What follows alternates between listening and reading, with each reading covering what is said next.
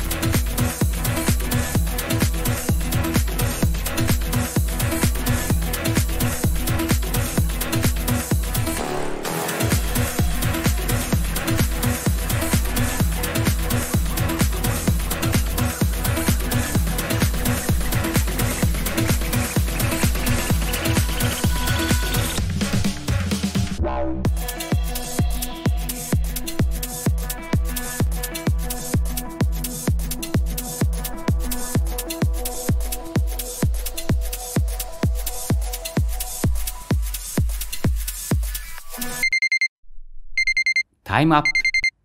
答え合わせ。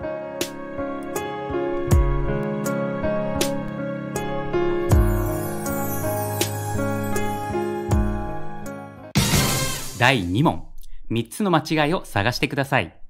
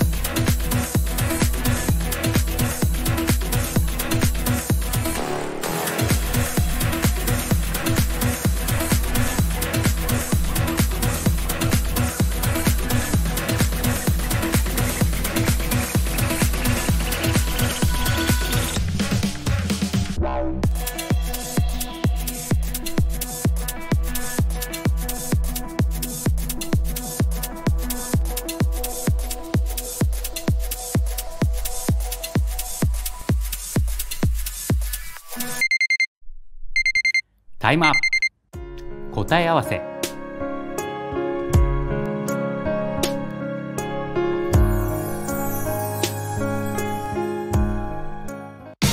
第3問。3つの間違いを探してください。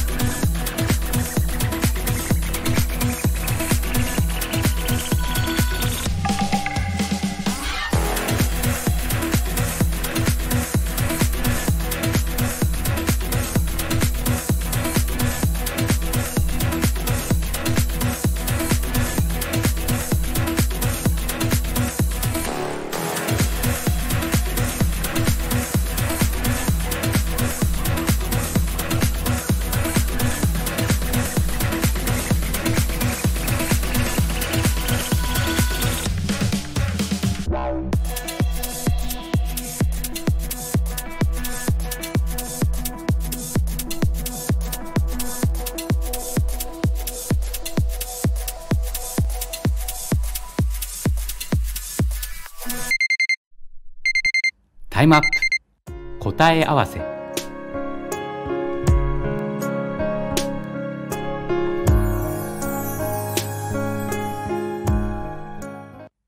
いかがでしたか？間違い探しは日々の脳トレにおすすめです。本チャンネルでは先人の残してくれた浮世絵をいろいろなことに使用して現代の方々に楽しんでいただけたらと活動しております。